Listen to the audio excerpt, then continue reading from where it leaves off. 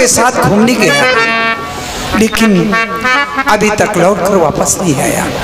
बहुत देर से मैं भोजन बनाकर उसका इंतज़ार कर रहा लेकिन पता नहीं क्या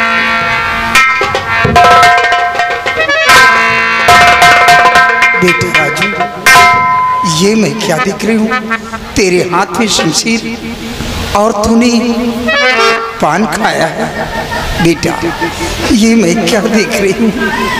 आज तूने पान खाया है।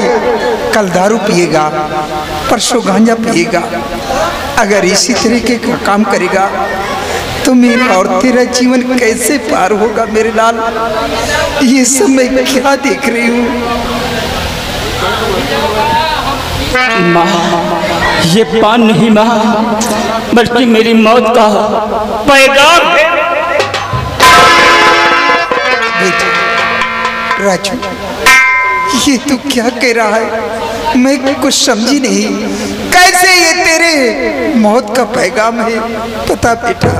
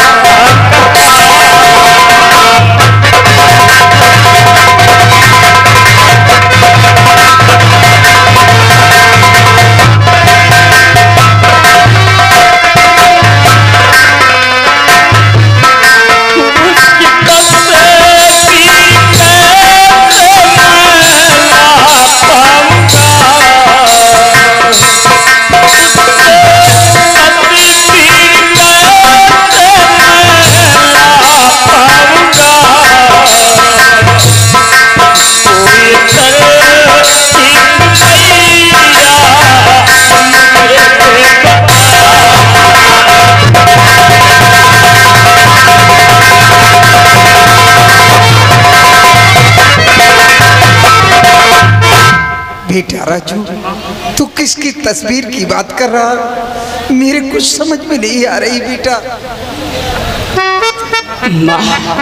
माँ आज बच्चों के साथ खेलते खेलते रात दरबार पहुँच गया माँ, और वहाँ पे सट कर रखा हुआ बीड़ा था माँ। मैंने भूल में इस बीड़े को उठा लिया माँ और महाराज ने ऐलान करवाया था कि जो कोई बीड़े को उठाएगा, सात समंदर उस पार जाना होगा और समझादी की तस्वीर लाकर महाराज के सबक पेश करना होगा। काश अगर समझादी की तस्वीर महाराज के समक्ष पेश नहीं किया तो उसे सजाए मौत होगी, माँ सजाए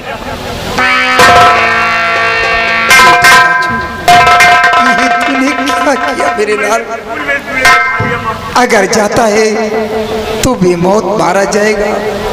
अगर नहीं जाता तो भी बेमौत मारा जाएगा। ये तूने क्या किया मेरे लाल लेकिन बेटा, घबरा नहीं। तू एक छत्राणी माँ का लाल है। मैं तुझे तरकीब बताती हूँ।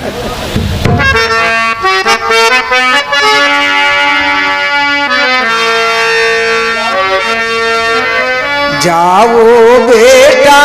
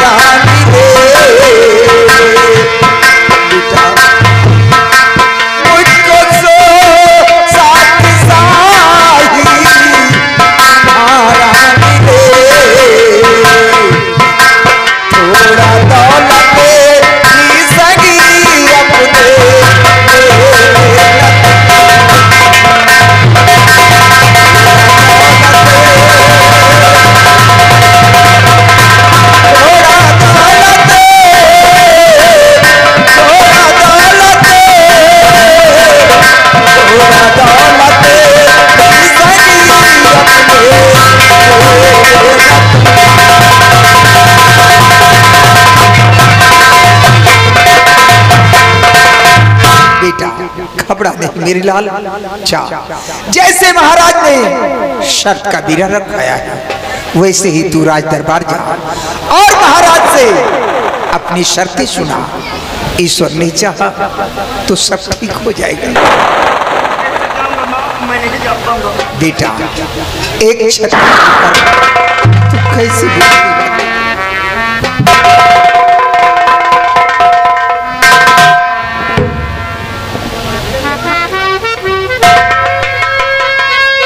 माता जी प्रणाम।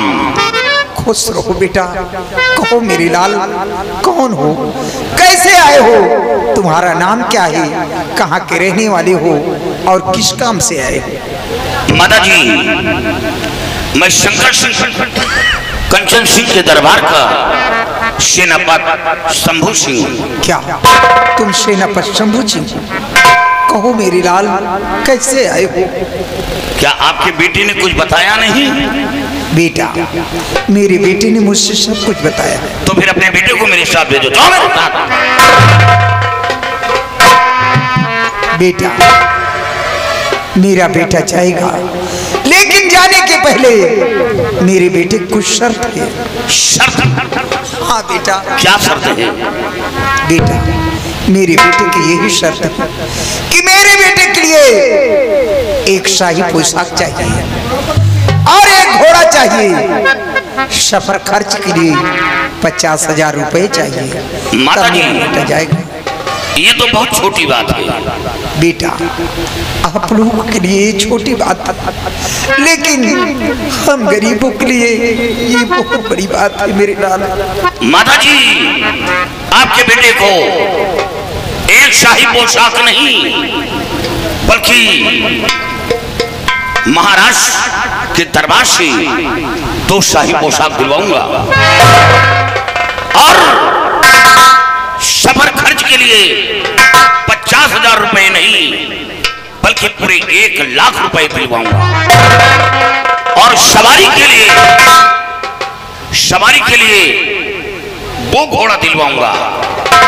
जिस पर हमारे महाराज कंचन नरेश सवारी करते हैं हर नागर नाम का घोड़ा जो हवा के तरीके आसमान में उड़ता है वो घोड़ा आपके बच्चे को दिलवाऊँगा। इतना सब कुछ मिलेगा तो मेरा बेटा ज़रूर जाएगा। तो चलो साथ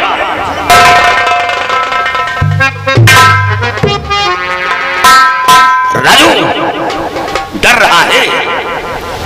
नहीं। कौन ऐसा काम है जो इंसान नहीं कर सकता? उसके अंदर हिम्मत होनी चाहिए। अरे ये काम ये काम तो मैं खुद करके दिखा था लेकिन अफसोस कि दरबार का कोई कर्मचारी या अधिकारी गया तो अपने काम में कामयाब नहीं होगा, इसलिए मजबूर हूँ। चलो राजू चलो। चलो राजू चलो। मुतलक नहीं आबा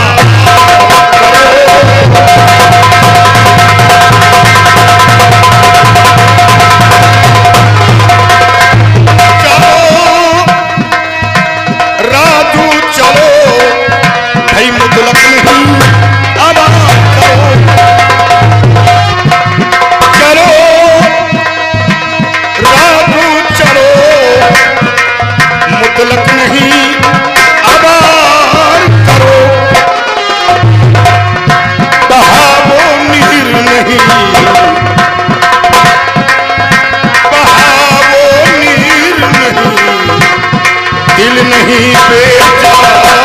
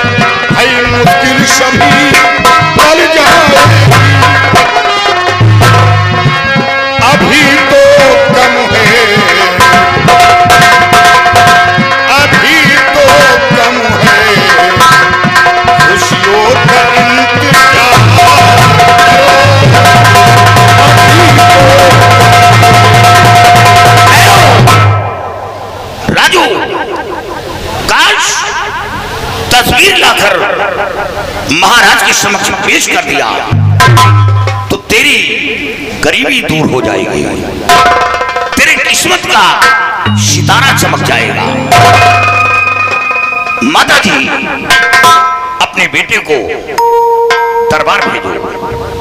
डरने की बात नहीं। और हाँ दरबार में पहकी पहकी बातें करूँगा।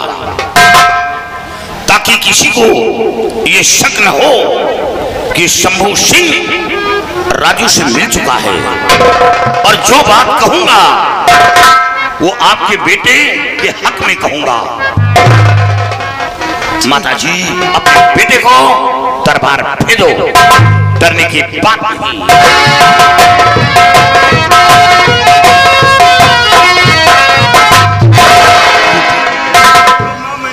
बेटा एक छत्री होकर कैसी बुद्धि बातें करता है? जा मेरे लाल, मेरा आशीर्वाद तेरे साथ जाकर महाराज से अपनी शर्तें सुना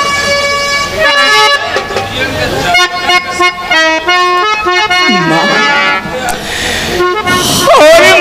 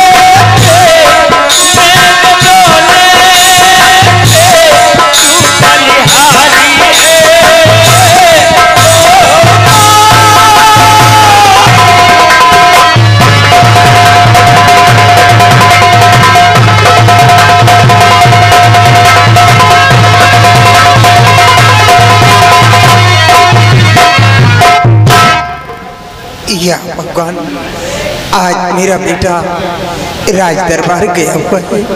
या मेरे मालिक, मेरे बच्चे की रक्षा करना। बहुत दुख उठाए, ऐसी ज़िंदगी